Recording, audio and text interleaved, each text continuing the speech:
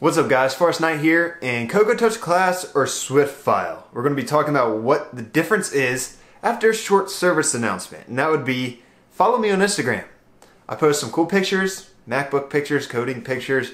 I'm going to start posting watered down versions of these videos and answer some questions over there. So follow me on Instagram, forrest.swift. But let's get into the video. Cocoa Touch class or Swift file. So let's go come on over to the computer so we can get a better understanding. But in layman's terms, they're the same thing, except a Cocoa Touch class is a template. It kind of it puts out a template and then Swift file is just a blank file. So for example, here's a regular Swift file. It comes with your boilerplate code and this is it. Import foundation and then the comments.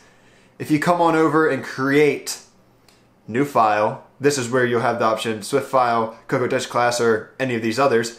Let's click on Cocoa Touch class, for example, and create, hmm, let's create something that we would normally use, like a UI table view controller example, because I don't want to get it confused with my current project. Next, you can also create a XIB file with this, but let's not worry about that for now. As you'll see, we have a whole lot more code. We have class table view controller example, which is a subclass of UI table view controller. And then we have all this other boilerplate code. And that's that's the difference is that we get all of this good stuff in uh, Cocoa Touch class. So here's another one. This is CA animation group named example. Here's another one, UI collection view cell.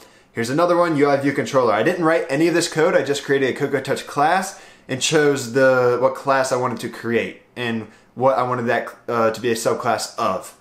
That's the only difference between a Swift file and a Cocoa Touch class, or you can think of it as a template file if that helps you out, because that's really all it is. It's a template. And I don't know, this is a short little video, but I should really hope it helps you out.